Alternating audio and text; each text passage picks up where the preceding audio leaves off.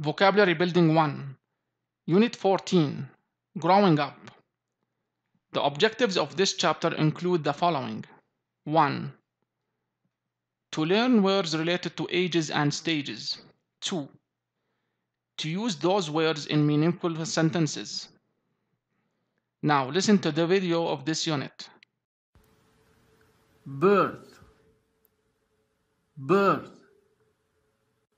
baby baby. Toddler. Toddler. Child. Child. Teenager. Teenager. Adult. Adult middle aged middle aged retired retired elderly elderly Exercise. Complete the sentences. Isabella is only six months old and she is still a baby. Number two.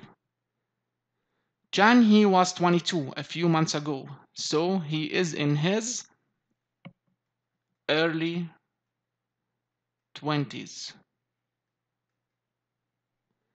3. Susan is 35, so she is in her mid 30s. 4.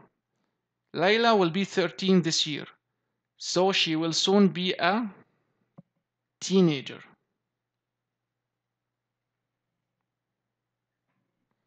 Five. Ron is 53 and his wife is 47, so they are both middle aged.